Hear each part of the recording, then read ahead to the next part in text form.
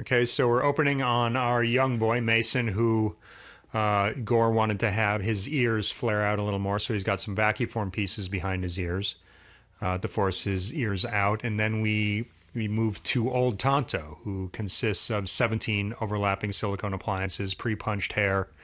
Uh, he's got two sets of contacts in each eye to sort of force his lower lids down. I wanted to, since, you know, the eyes are the focus of the character, I wanted that age to be evident in his eyes. So, in addition to making his eyes more watery and uh, a little cataract, the double stacking of the contact lenses forces the forces the lower lid down so that you get that kind of droop that you see in an older person.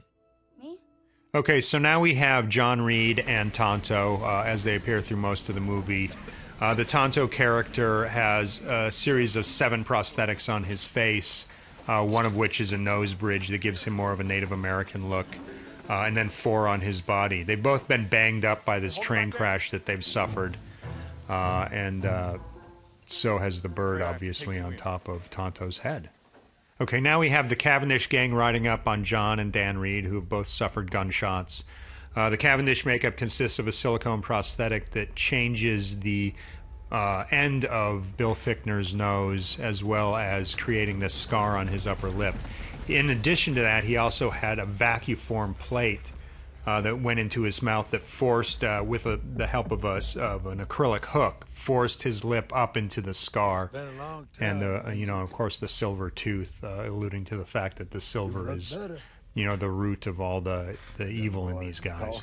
Now the Cavendish gang uh, consists some uh, consisted of some fairly elaborate makeups as well. We have Ray, who's sort of the victim of this failed lynching.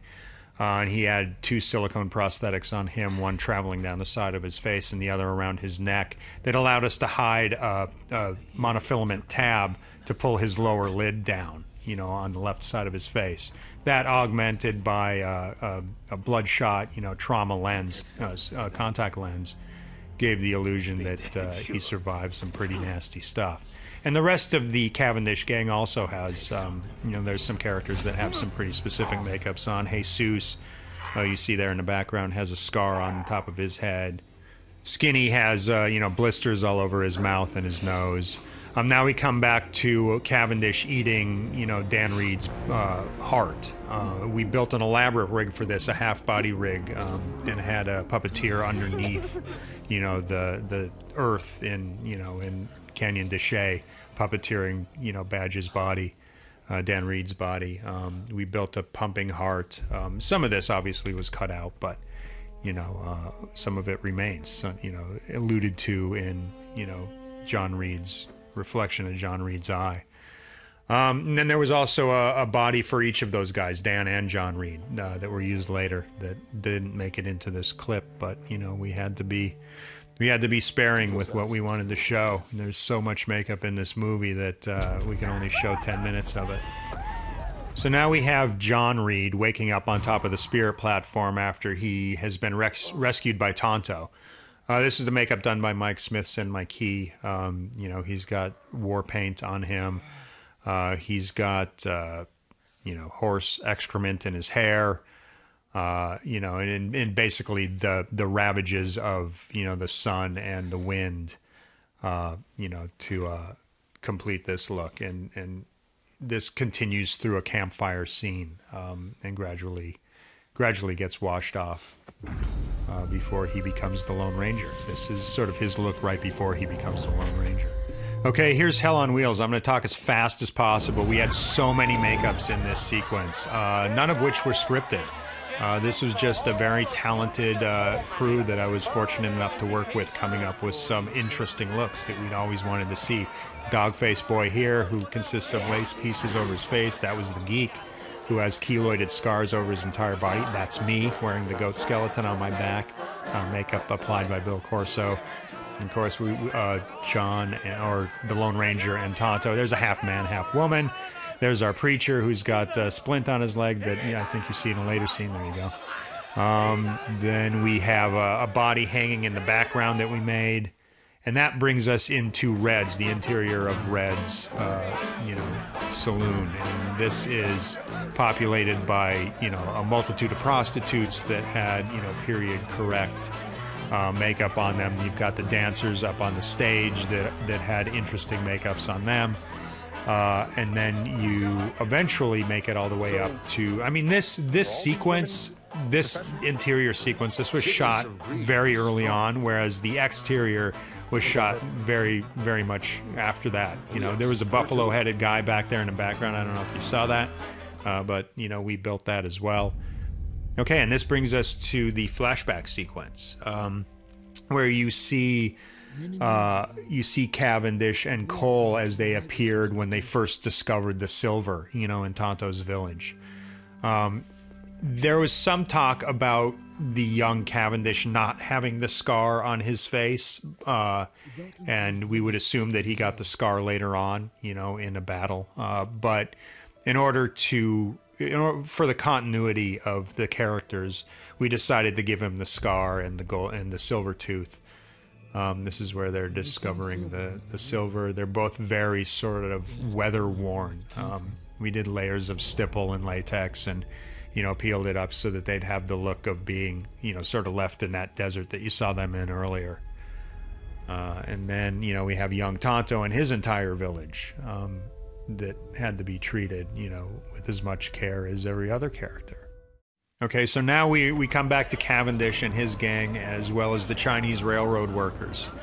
Um, in this movie, there's you know the stuff that you're not going to see is is you know all the cavalry, you know the Comanche village. I mean, you know, like I said, we could only show 10 minutes in this in this Academy reel, so I tried to pick the most interesting 10 minutes, and this is uh, you know this is skinny shaving Butch Cavendish you know, the uh, Chinese railroad workers are having a problem with digging in the uh, mine. They think it's cursed.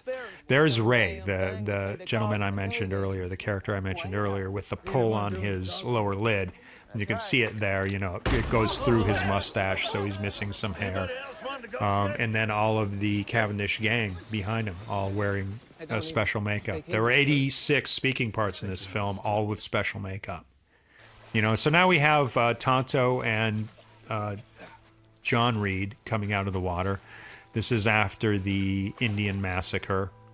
Uh, I addressed uh, Tonto's makeup in such a way that it looks like it's running off because most, through most of the movie, the idea is that he's got this cracked earth on his face, but obviously coming out of the water, that would have sort of reactivated and, you know, reliquefied and started running. So this makeup is is a, a you know a hint of you know, makeup running down his face and, and minimal prosthetics. And then we cut to the old age version in a in a flash forward sequence. Uh, and this is one of my favorite shots of the age makeup, um, just because I think that the performance uh, that Johnny is giving in this is is is priceless. You know, it's really moving. Um, and you know, uh, me, uh, myself, uh, Mike Smithson and Kenny Niederbaumer applied uh, applied this makeup on a daily basis. It shot about five times uh, with you know multiple days of insert shots. Um, and then we come to our band. Uh, there are two stages of these guys. This is the the clean, fresh version. Everybody, everybody in this crowd is wearing something, whether it's facial hair, dirt makeups, uh, you know, it, it, there's not a single person in the hundreds and hundreds of background that we had that is not wearing some kind of makeup. Um, you know, here we have Cole as he appears through most of the movie. Uh, you know, we have Haberman, who is sort of in charge of the railroad, uh, all wearing facial hair prosthetics. Uh, and then, like I said, the townspeople, all treated with care by a fantastic crew that uh, we picked up in New Mexico. And now we have uh, Red, Red Harrington, who's played by Helena Bonham Carter, uh, and then Fuller, who's who's uh, uh, examining her leg there. He's got you know he's got a wig, he's got facial hair pieces. Red, you know, was made up by Robin Beauchesne, uh, and she did a fantastic job. And then here's Tonto as he appears through most of the movie again in his you know his prosthetic mud makeup. Rance Howard. Always fun to work with Rance uh, as an engineer, you know, completely covered in, in soot and dust. And this is the last shot. You know, we have the beaten version of Cavendish and Fuller. Uh, interesting on, on Fuller is he's got a cracked tooth that was a dental prosthetic that we added at the last minute. And that's the Lone Ranger.